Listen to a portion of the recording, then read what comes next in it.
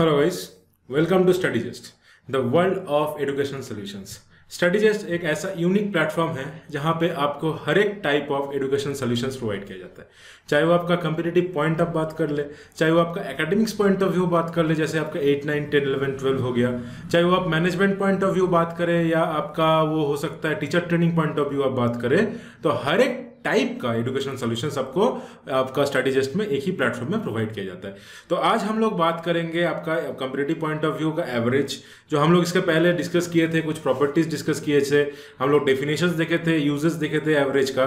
तो आज हम लोग और थोड़ा कुछ प्रॉपर्टीज़ देखेंगे कि एवरेज में कैसे क्या क्या प्रॉपर्टीज़ आता है एवरेज में क्या क्या फ़र्क पड़ता है वो प्रॉपर्टीज़ से, और हम लोग कुछ एग्जांपल्स हम लोग डिस्कस करेंगे इसी क्लास पे। तो चलिए शुरू करते हैं एवरेज हम लोग का कंपेरेटिव पॉइंट ऑफ़ व्यू से। तो कंटिन्यू मतलब continue continuation class of the average तो शुरू करने से पहले एक बार मैं फिर से बता देता हूँ आपका, जो हम लोग का चैनल है, यहाँ पे आप सब्सक्राइब कर सकते हैं, जो स्टडीज़ कॉम्पिटेटिव स्टडीज़ का। तो यहाँ से आपको क्या फ़ायदा ये रहेगा कि आपका कोई भी इसी टाइप का वीडियो आया तो आपको नोटिफिकेशन सबसे पहले मिल जाएगा। आप लाइक कर सकते हैं फेसबुक में, हम लोग का जो इंस्टा इंस्टाग्राम में यहाँ पे फॉलो कर सकते हैं। हम लोग का टेलीग्राम चैनल में फॉलो कर सकते हैं ज्वाइन कर सकते हैं। जो यहाँ पे देख सकते हैं आपका लिंक है, यहाँ पे दिया है, ये आपका जो पिक्चर है, आप लोग का लोगो है, ऐसा दिखता है। तो देख के आप टेलीग्राम चैनल को ज्वाइन कर सकते हैं। और हम लोग का कम्युनिटी ज्वाइन कर सकते हैं व्हाट्सएप पे जो दिए, नीचे दिया है। तो ये सब कम्युनिटी ज्वाइन करने का आपका कुछ ये फ़ायदा रहेगा कि आपका वो डायरेक्टली जो आपका जो प्रीवियस ईयर क्वेश्चन पेपर है, जो पीडीएफ नोट्स है स्टडी नोट्स है, या आपका मान लीजिए डाउट्स है वन टू वन बेसिस पे आपका यहाँ पे क्लियर हो जाता है। तो हम लोग का कम्युनिटी ज्वाइन करना ना भूलें। ऐसा दिखता है हम लोग का जो फेसबुक यूट्यूब का चैनल का पेज है, ऐसा दिखता है हम लोग का जो फेसबुक पेज है, ऐसा दिखता है। तो please follow us on our community चलिए शुरू करते हैं। हम लोग का जो आज प्रॉपर्टीज़ है, यहाँ से कंटिन्यू करेंगे। हम लोग पहले तीन प्रॉपर्टीज़ देखे थे। तो आज हम लोग का फोर्थ प्रॉपर्टीज़ है, यहाँ पे दिया है। If each observation is divided by a the average of this observation also divide by a ठीक है?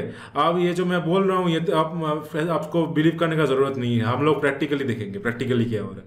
तो देखिए, यहाँ पे चार नंबर हम लोग प्रीवियस एग्ज़ाम्पल पे लिए थे तो वो प्रीवियस एग्ज़ाम्पल ही यहाँ पे देख लेते हैं। कि मान लीजिए, एक नंबर है थर्टी दूसरा है ट्वेंटी फिर है सिक्सटी फिर है टेन ठीक है?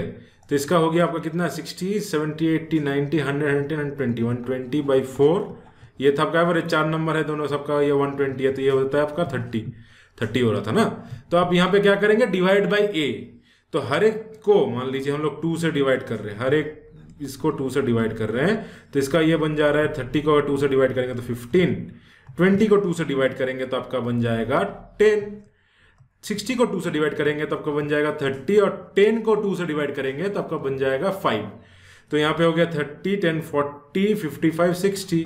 तो यहाँ पे बन गया सिक्सटी। आप सिक्सटी को फोर से डिवाइड करेंगे तो एवरेज निकालेंगे तो ये आपका आएगा फिर फिफ्टीन फोर जो सिक्सटी तो फिफ्टीन आ गया। मतलब ये जो एवरेज आया था, इसका बाई टू करेंगे तो डायरेक्ट इसका एवरेज निकल जाएगा। तो यहाँ यहाँ पे यही बोला गया है जो प्रॉपर्टी है, यहाँ पे ये बोला गया है कि आपका कोई भी ऑब्जर्वेशन इंडिविजुअल ऑब्जर्वेशन में आप कोई भी एक्शन करते हो तो वो आपका एवरेज में झलकता है, क्योंकि एवरेज इक्वल डिस्ट्रीब्यूशन है इक्वल इक्वल डिस्ट्रीब्यूशन है सब में। तो वो जो आप करोगे ऑब्जर्वेशन में, जो भी आप करोगे प्लस माइनस मल्टीप्लाई डिवाइड वो आपका एवरेज में भी देखने को मिलेगा। तो ये था हम लोग का फोर्थ प्रॉपर्टी चलिए आगे देखते हैं।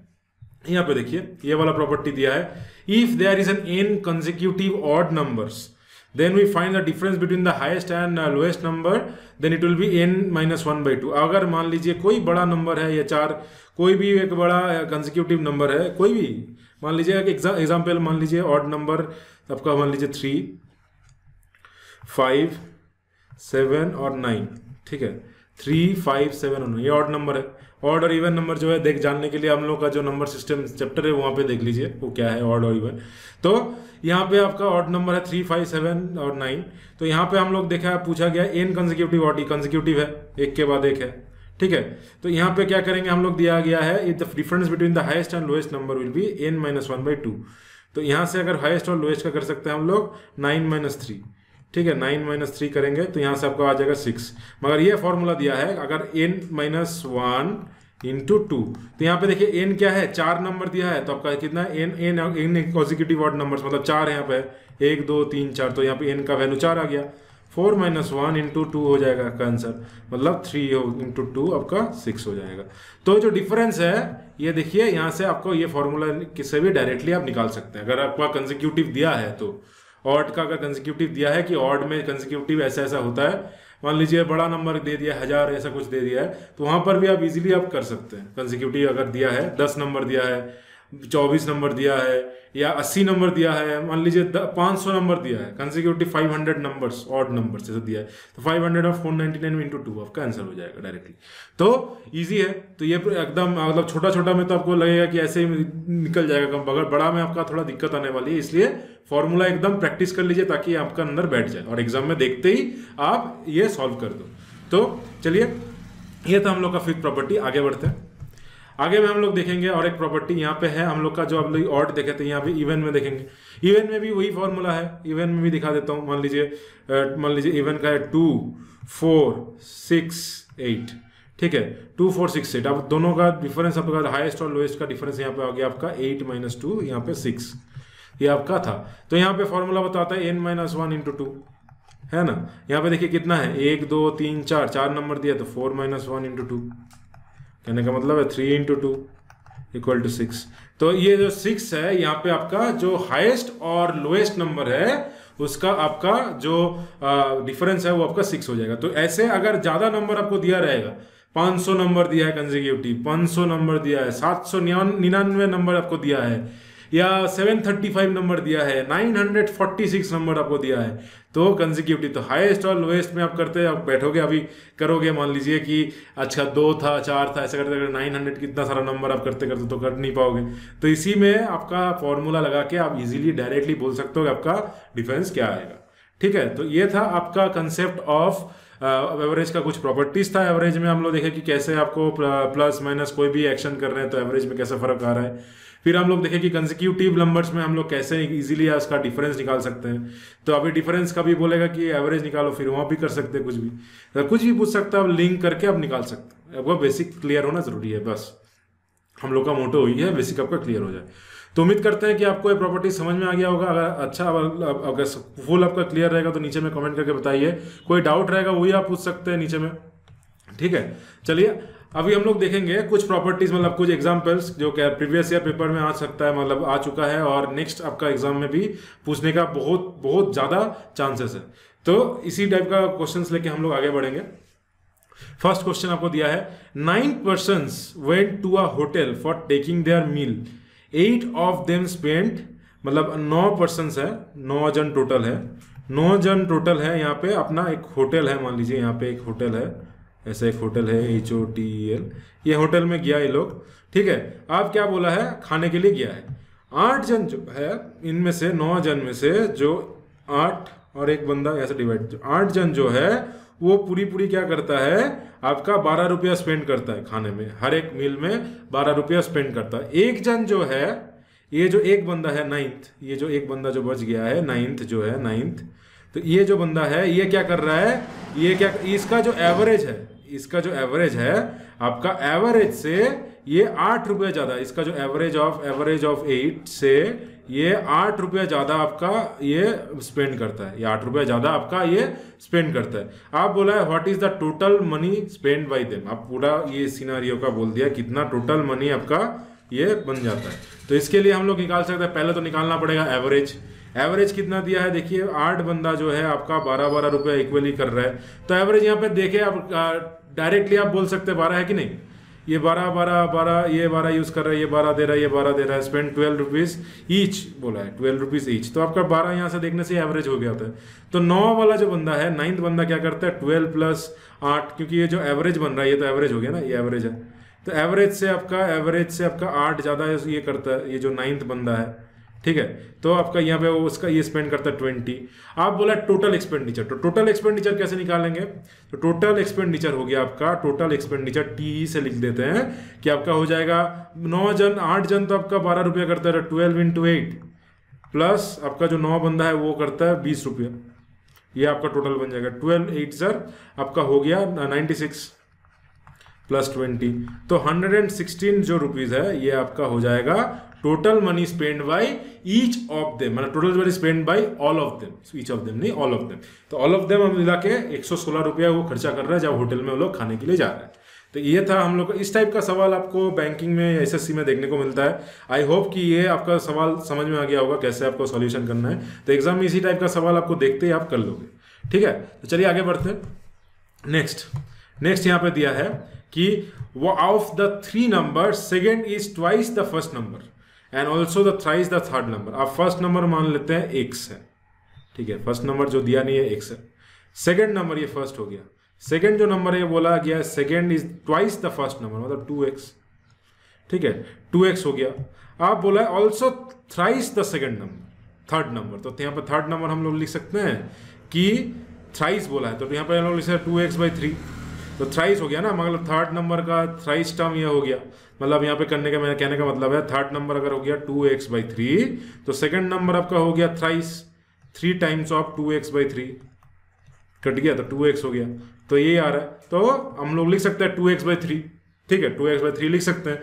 तो तीनों नंबर हो गया आपका एक्स टू एक्स और टू एक्स बाई थ्री ठीक है, ये तीनों नंबर हो गया। आप बोला average of three number is forty four average कैसे निकालते हैं? टोटल निकालते हैं। Total by number of observation number of observation number of observation ये हो गया आपका एवरेज ये आपका दिया है आपका फोर्टी फोर कहने का मतलब है x plus two x plus two x by three करेंगे तो आपका टोटल निकल जाएगा।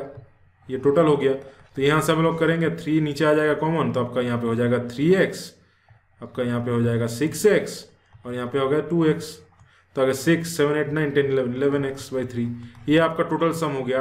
अब एवरेज दिया है फोर्टी फोर तो यहाँ आपका हो जाएगा इलेवन एक्स बाई थ्री और इसका भी नीचे में, ये आपका टोटल सम हो गया, इसके नीचे में थ्री आएगा, क्योंकि टोटल तीन ऑब्जर्वेशन है, इसका हो गया आपका फोर्टी फोर ये आपका हो गया फोर्टी फोर तो यहाँ पे आप देख सकते हैं इजीली ये कट जाएगा इलेवन फोर जो फोर्टी फोर तो एक्स यहाँ पे आपका हो जाएगा थर्टी सिक्स है ना? मतलब four into three into three three three nine and four thirty six thirty six आपका यहाँ से एक्स निकल गया। आप क्या बोला गया है? आप बोला गया है हाईएस्ट नंबर निकालिए। हाईएस्ट नंबर देखिए, ये तो अब डिवाइड हो जा रहा है। हाईएस्ट नंबर तो ये नहीं है।